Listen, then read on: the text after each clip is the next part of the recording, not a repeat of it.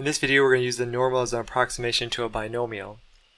And remember, a binomial is a discrete probability distribution where you have distinct items, one, two, three, and there's no other option to be in between them. So they're kind of like putting little rectangles together. So for example this, right here, they're saying, hey, in order for us to find the whole 152, we have to go 0.5 to the left of 152 and 0.5 to the right of 152, and we create a box. And it's a certain probability, a certain height, right? And that's the representative of 152. Versus on a normal, which is a continuous distribution, we'd go all the way to the edge of that 151.5, and then to the right would be greater than 151.5, and, and that would be including 152 on the binomial because that edge of that binomial is 151.5. So binomial is discrete and little rectangles, whereas the normal graph is uh, continuous data. And we want to take this normal graph and approximate this binomial discrete data.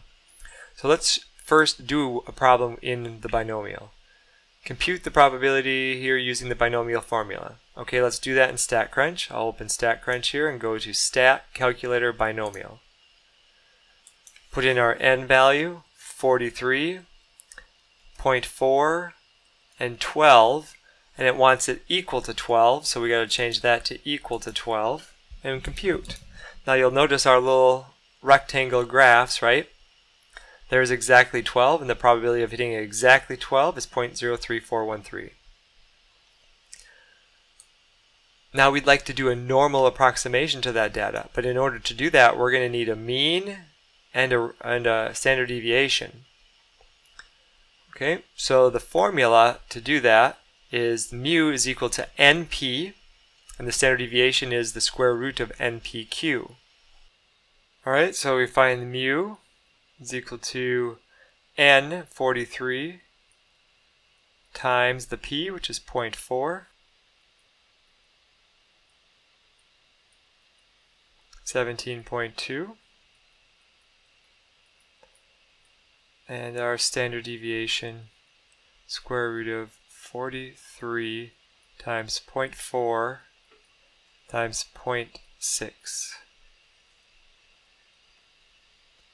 second square root 43 times 0.4 times 0.6.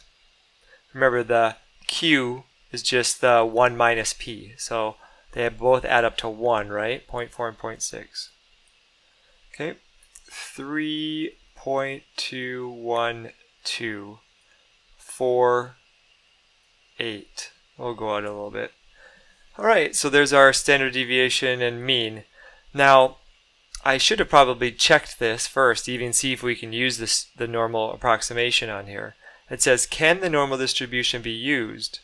Okay, well, this is a Sullivan problem for statistics, and you have to satisfy NP times 1 minus P is greater than or equal to 10, or NPQ is greater than or equal to 10. So we'll just do that. 43 times 0.6 times 0.4. If that's greater than or equal to 10, which it is, just barely, you can do a normal approximation. In other books, like Triola, it's NP is greater than or equal to 5. So 43 times 0.4, and then 43 NQ also has to be greater than or equal to 5. You have to have both conditions met, and then it's true. So for Triola NP greater than or equal to 5, and NQ also does have to be greater than or equal to 5. And in Sullivan, you have this formula right here. So it, it is true, so we can use the normal approximation to a binomial. Okay, and this is my mean I'm going to use, and this is my standard deviation.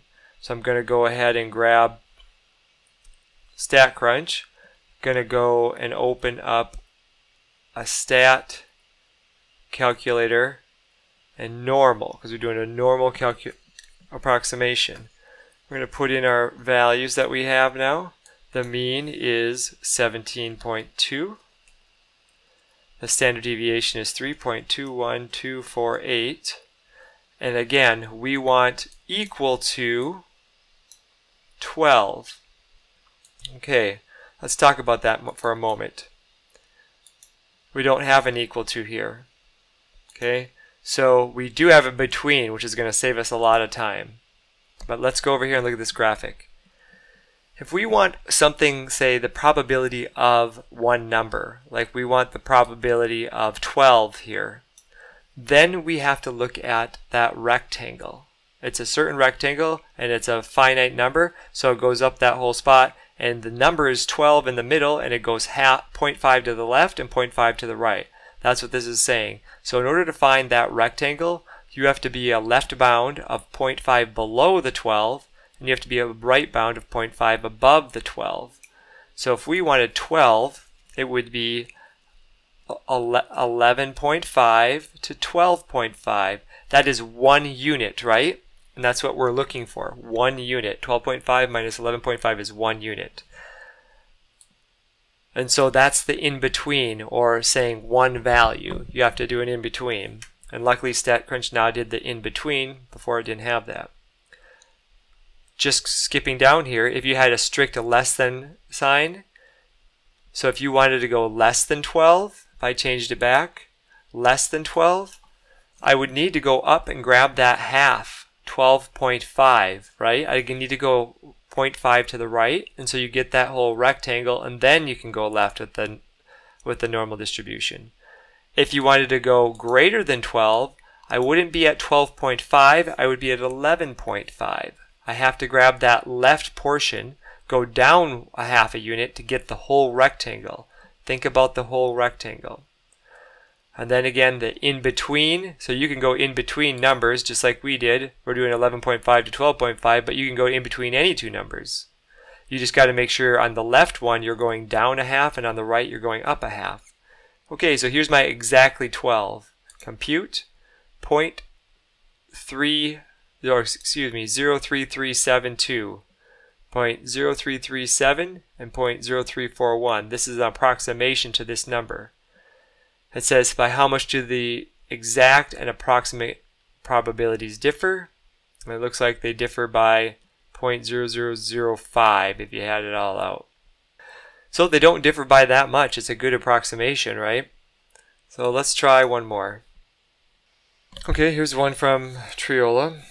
And so it's showing that if NP is greater than or equal to 5 and NQ is also, then we'll estimate this with uh, these values here. So let's just quickly check that. Our n is 13. n times uh, 0.6. Yep, greater than 5, so 13 times 0.4. Greater than 5, just barely. Alright, by using the normal distribution. If it's not, then state that you can't use it and it's not suitable. But it is, okay? This one says probability of fewer than 7. Okay, fewer than 7. Not equal to 7, but fewer than 7. Alright, so let's go over here, grab our normal approximation tool, our normal calculator, and put in our mean. Oh, we need to calculate the mean first. So let's go calculate the mean. Here's our formula. NP, N is 13 times P, which was 0.6. We already did it, I guess. 7.8 and our standard deviation, the square root of n 13 p 0.6 q times 0.4, 1 minus p, remember, and then hit enter. StatCrunch put in the standard deviation 1.766352, You might as well put it all in. Not, we're not finding an in-between anymore, we're finding a standard, so I'm going to switch it. And now we're finding fewer than 7, so we have to go less than or equal to what? If we put 7 in, if it's equal to 7, that's not going to be right, is it? Because I don't want to be equal to 7, I don't want that rectangle, okay? Or even 7.5, uh, getting the whole rectangle. I don't want that whole rectangle. I just want to take 6 or lower for the discrete.